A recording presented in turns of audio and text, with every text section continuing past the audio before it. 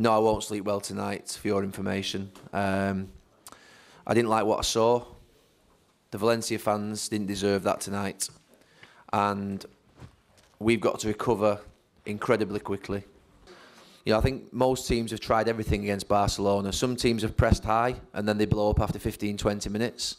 Some teams drop off and the same can happen. We adopted the game plan that we adopted against Barcelona in the in the Mestalla, and we adopted the game plan that we adopted against uh, Real Madrid. Obviously, with the wrong, with a different execution. Lo que, lo que está claro es que hemos sido It is clear we've been very superior to our rivals.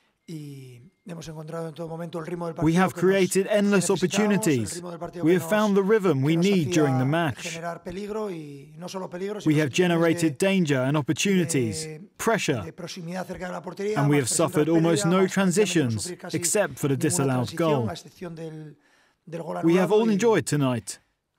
The fans, hoy creo que hemos disfrutado players, of course, todos los culés muchísimo, and it's a great day for us. Un gran día para nosotros.